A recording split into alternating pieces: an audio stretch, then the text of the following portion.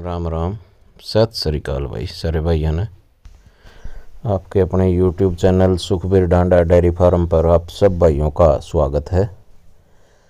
जो भी भाई चैनल से नए जुड़े हैं, वीडियो को देख पा रहे हैं और चैनल को सब्सक्राइब नहीं किया है तो चैनल को सब्सक्राइब करें और पास में लगे घंटी का बटन भी दबा दें ताकि आने वाली नई वीडियो का नोटिफिकेशन आप सब भाइयों को मिलता रहे।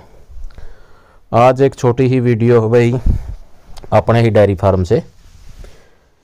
एक पहले ब्यांत की जोटी है, बहुत बड़ी हाइट लेंथ की फुल हाइट लेंथ है, जो अपने पशु हैं, जैसे अपनी एम उनतीस वाली जोटी है, उस इतनी हाइट है जोटी की, पूरी लंबाई है, लंबी गर्दन की, छोटे सींग की, और पक्के अडर की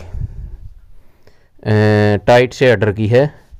थन है वो ठीक लग गया है, चुआई चुई बहुत शानदार है, थन कोई ज़्यादा मोटा तो नहीं कह सकते फिर, लेकिन चुआई बहुत शानदार है। आर्डर है, वो टाइट सा लग गया हुआ है भाई।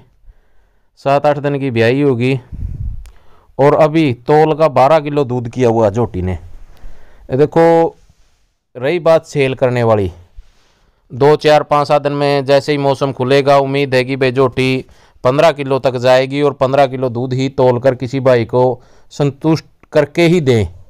एक तो कहने को कह दें कि भाई ये पंद्रह किलो देगी, लेकिन जोटी पाँच, सात दिन में बढ़िया खाने लग जाएगी तो पूरी तरह अपने पीक पॉइंट पे आ जाएगी।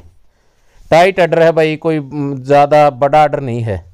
ये कमा कि भाई ज़्यादा बड़े ऑर्डर की है, लेकिन चुवाई शानदार है जोटी की, और थन भी बीच सी का ही है, कोई ज़्यादा मोटा थन भी नहीं कह सकते, लेकिन हाइट लेंथ में कोई कमी नहीं है। नीचे इसके मेल काफ है, और, खाने पीने ठीक लगी जोटी और खाने पीने की है भी ठीक भाई।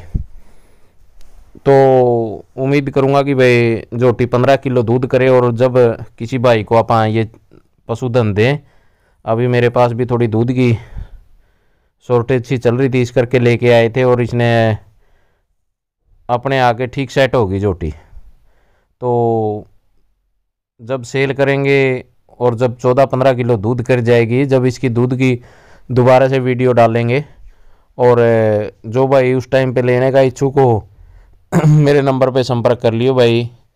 ऑर्डर कोई ज़्यादा वो नहीं है कि भाई कई बार बंदा ये सोच के करे कि भाई कोई ज़्यादा बड़े ऑर्डर की होगी। टाइट सा ऑर्डर है। और टाइट से ऑर्डर में दूध बहुत अच्छा है। तो ये छोटी वीडियो कैसी लगी कमेंट के माध्यम से अपनी राय ज़रूर दें। आप सब भाइयों का वीडियो देखने के लिए धन्यवाद